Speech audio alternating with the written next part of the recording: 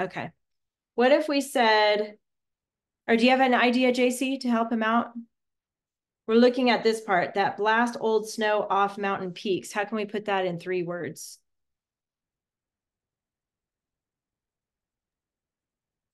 No. You don't know? Um. hmm. Maybe we could do blast, Yeah. snow, and mountain.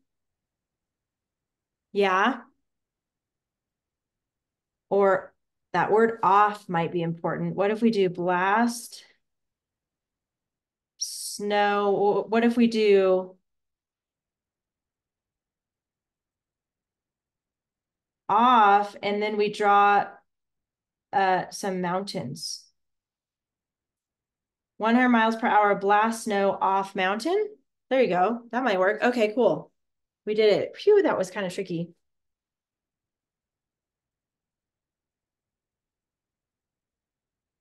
Is that good, Easton? You like that? Okay. And then I think the only last fact that we have is right here at the very bottom. Winter and summer at the poles are both six months long. There is no spring or fall. So what do you think, JC? How can we include that information on our outline?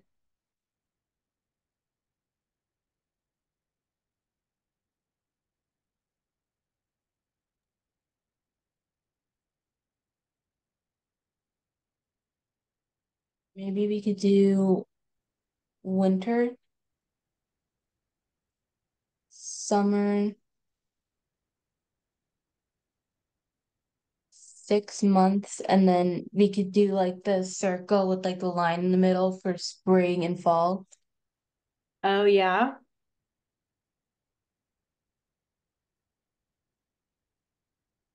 Like, sir, okay, I see. I think I know what you mean. Let's start that. Let's put winter, summer. And you could do the number six. You don't have to count that. And maybe M-O for months.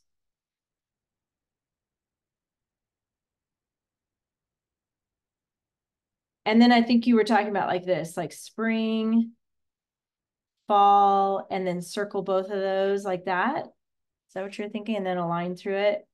Okay. We might have an extra word in there, but since we grouped them together, we won't count it. it's okay. Winter, summer, six months. MO is months. No spring and fall. Good. All right. That's ready. That's ready for your next paragraph. That's going to be paragraph number two. And then go ahead and turn back to the back again, put a check by weather.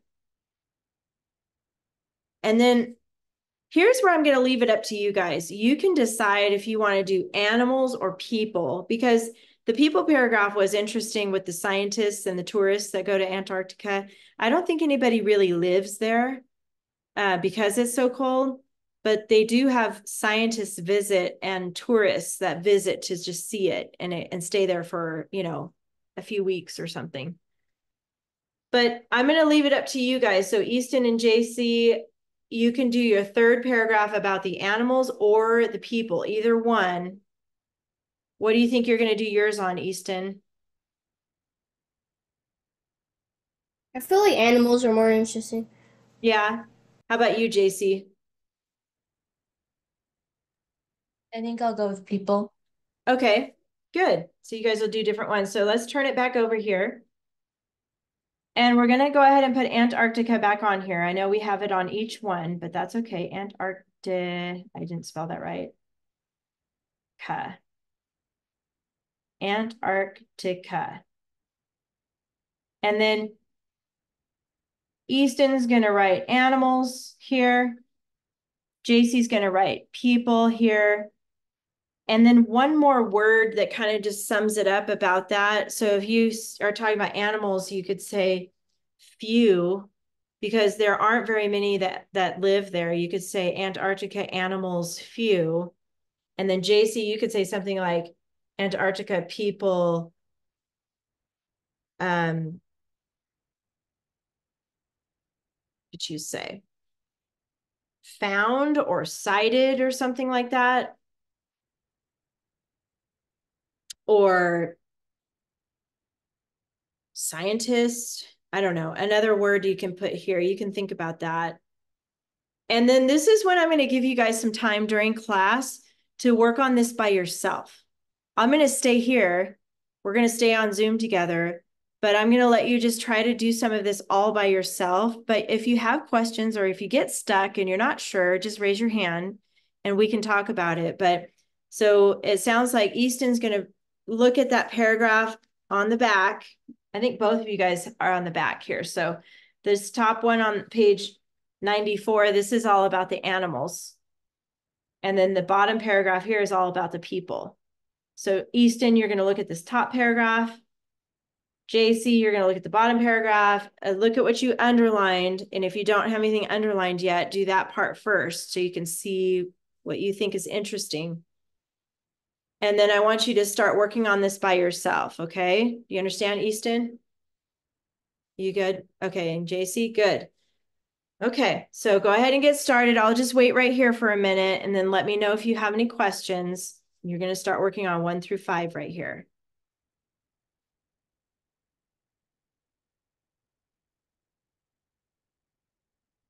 Easton, I do want you to keep your, don't cover up your camera because I want to be able to see you. Okay, I need to see you working.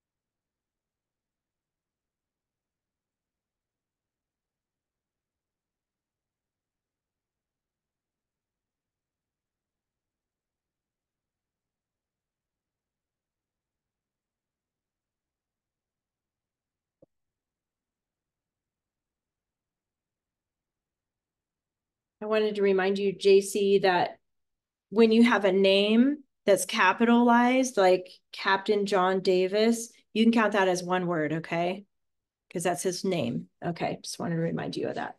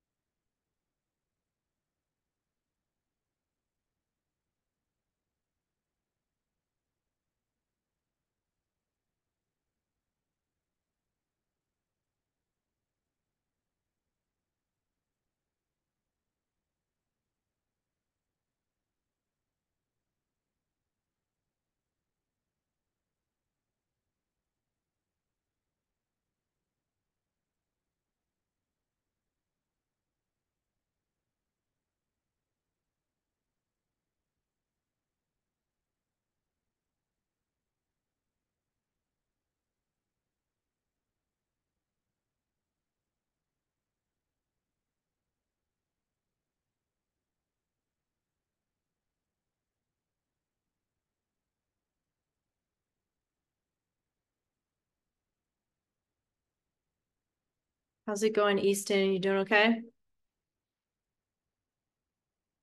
I'm at like the third one. Okay, good. How about you, JC? Which one are you on?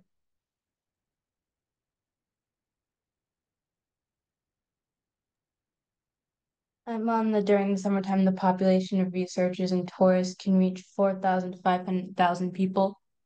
Okay, so what number is that on your outline? Number four. Okay, good. Okay, good job, guys. Keep going. Almost done.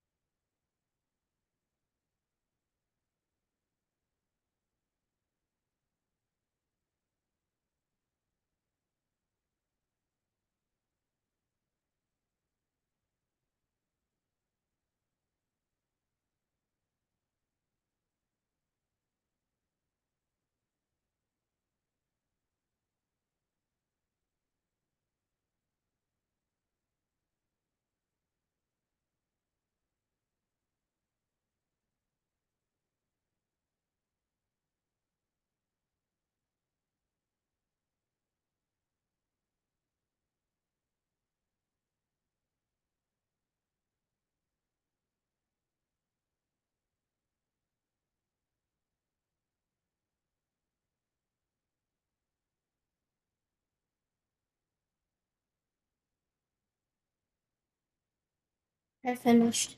Okay, good. I'm finished too. Oh, good. That was good timing, you guys. Awesome. Okay, so I'm going to have Easton go first. Just tell me what you have written by one through five. Just read them off to me right here. Okay, so some of the words might not make sense because I like trying to minimize them. Okay, Like- that's okay. So summer might be some, and just it's gonna be whatever. I understand. Just try to put some stuff. Okay. So one was penguins adapted. Um, I tried drawing like a house and like icicles on it, like Oh, for okay. harsh maybe, because that would be like cold or I don't know. That's a good idea. Then I like it. I just put climate after that. Okay. Then for pen, that would be penguin, Okay. sort of. I don't know. Yeah, that works. Then it says escape in summer months. Or I put M O N for like an abbreviation of like months. Good. I like it. Um, and I put at and I put um at, at the end of like I put some for summer. and I put pen for penguin. Then um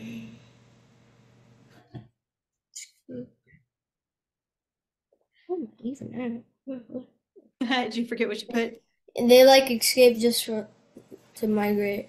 It says Migrate. at, migrate after. This Okay. is- this one is um what was this one? Oh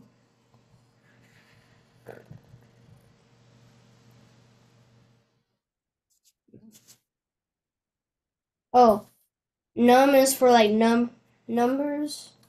Okay. Uh, oh, numerous. It's, it stands for numerous. Ah, yes. And I put species and um of moss and like and like I put this for disappear and then I put some for summer.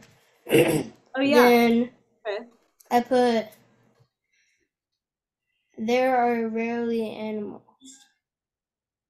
Like I just put that there just it was just an extra sentence because I put like all the sentences in Yeah. here except like one and like the one isn't really that interesting. So I had to make up my own. You did great, Easton. I like what you have. That's really good. I, I think you nailed it right there. That's good. And then JC, how about you? What did you put here for all yours for the animals?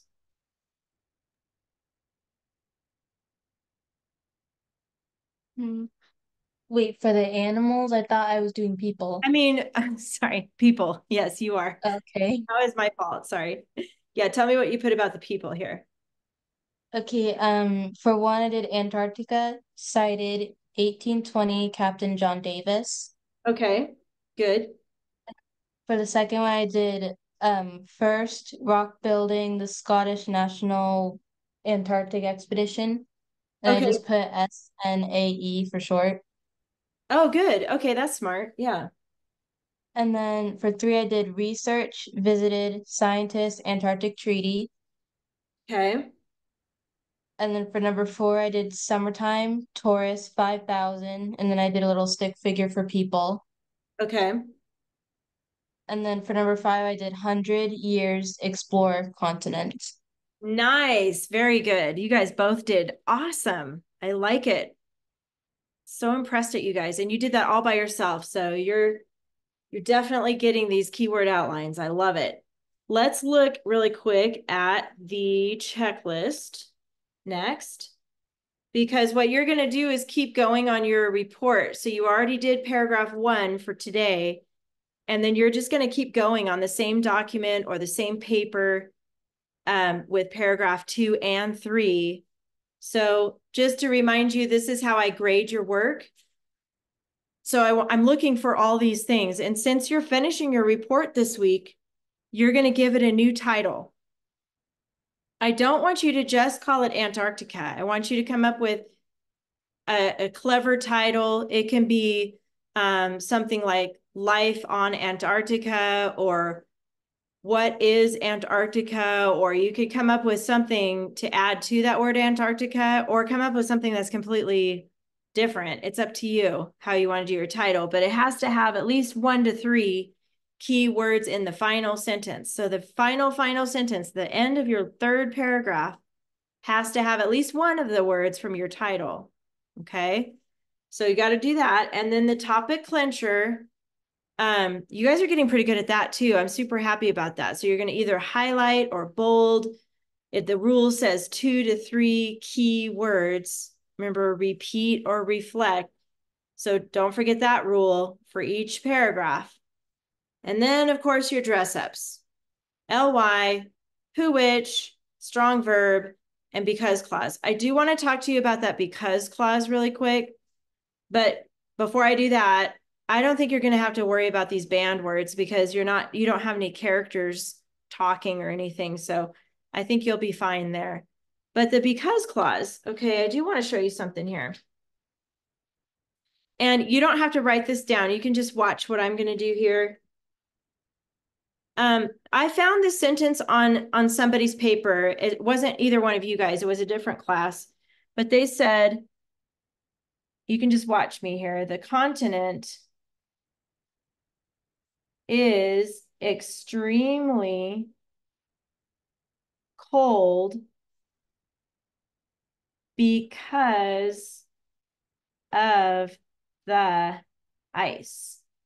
And then this student underlined because. I think they might have even underlined extremely too for the ly. Okay, which is fine. You can have them both in the same sentence. That's fine. But she used of next to the word because, and that completely changes this type of, of sentence here because if you have because of, that makes it a prepositional phrase. You guys know what those are because you do that in grammar. It's not a clause anymore. So remember, I'm going to put up here, a clause has a verb, a phrase does not have a verb. So a clause has a verb, a phrase does not have a verb. If I just underline because of the ice, that's a prepositional phrase. There's no verb there because of the ice. So on your checklist, though, they want you to use it as a clause. See that word clause here? So don't use because of. How can we fix this? I mean, you can completely change the sentence if you want, but how could we fix this so we can take off of and it and we need a verb, right? We need an action or a helping verb in there. Do you guys have any ideas of how we can change this so we can take off of?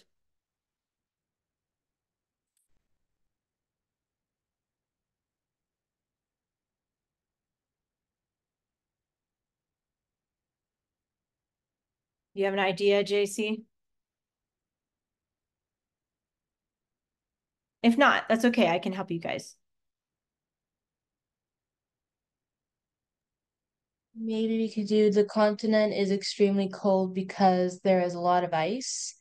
Yes, I like that. So we would take off of and put here there is a lot. Even though you have of here, that's okay. It's not next to because, so that would work. And this word is is a verb. Is is actually a verb, so that works. The continent is extremely cold because there is a lot of, I got to cross out that too, a lot of ice. Good. That's a perfect example. So I just wanted to point that out to you to make sure you don't use because of. Okay. So actually what I, what we could do, look at your checklist really fast with me again. And right next to because clause, put because of, and then circle that and draw a line through it just to help you remember. Don't use because of. just because. Maybe that'll help you for that. Okay, any questions about the because clause? Nope, good. So you're just basically looking for a spot in your paper to tell why something is the way it is. Tell why. Okay, and make sure there's a verb with it. That's the clause. So once again, your homework is, because now you're done with Roman numeral two and three, you're going to write both of those paragraphs, two and three, using your checklist. And it's a miracle, you guys, but we are done a little bit early today. Woohoo! You did great. So, and I know you got your outlines done, so you're ready to go. So that's it for today. You're going to write paragraphs two and three, and then you have that grammar to do. Don't use because of. Try not to use that when you're using because. Good job, you guys. That's it. So I will see you next week. Have a good day.